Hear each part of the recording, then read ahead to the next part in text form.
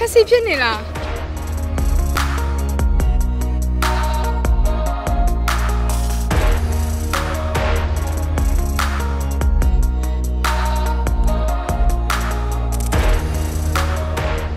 အရန်ဆက်စီဘက်သွားရောက်သွားလားအိမ်ရပေါ်လာတော့သိပ်မတွေ့ဘူး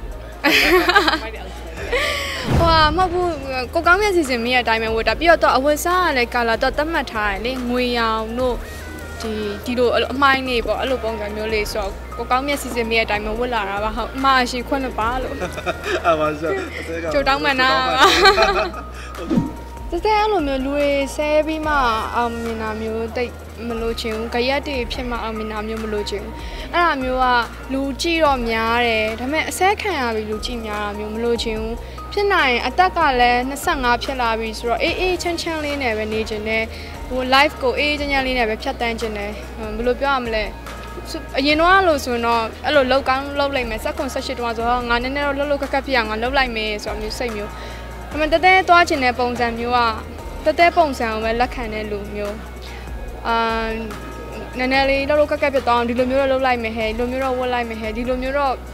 လှုပ်ချလိုက်မယ်ဆိုတဲ့စိတ်မျိုးမရှိဘူး။ idea မျိုးလည်းအဲ့လိုမျိုးတော့မရှိဘူး။တကယ်ကတော့အဲတစ်ခါကျရင်ကိုရိုက်ချင်တဲ့ပုံစံမျိုးလေးရှင်ဓာတ်ပုံလေးရိုက်မယ်အဲ့လိုမျိုးလေးပေါ့။အေးအေးချမ်းချမ်းလေးပဲ live ကိုဖြတ်တန်းချင်တာပါဟုတ်။အဓိကတော့ကိုယ်စူးစမ်းမှုနဲ့ထိုက်တန်တဲ့ data တစ်ခုကိုလည်းလိုချင်တယ်ပေါ့ဟုတ်ကဲ့အဲပြီးတော့ကိုယ့်ကိုလည်းပြိတ္တကအလိုမျိုး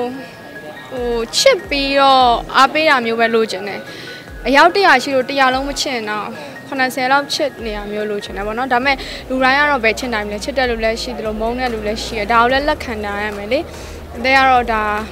တဲ့ပုံစံကတော့ဒီအေးအေးလေးပုံစံမျိုးပါပဲအဲ့တော့အော်ပေါ်တက်ဆရာရှိတဲ့တက်လိုက်တဲ့ဝေစာသူ့ဟာနဲ့သူလိုက်ဖတ်တဲ့ဟာမျိုးအဲ့တော့လှလုံးကက်ကက်လုံးမယ်ဆိုပြီးရဲ့စိတ်မျိုးရဲ့လို့လည်းမရှိပါဘူးဟုတ်ဟုတ်ကဲ့ပါတဲ့အားဆန်တော့အော်ဒီပြစံနေမျိုးမျိုးကိုအားပေးနေတဲ့မာဂရီတက်တဲ့တဲ့တော်ညာရှင်ပြဆော့ပေါ်ပါ။အော်တဲကိုဘာပဲလုပ်လို့အားပေးနေကြတဲ့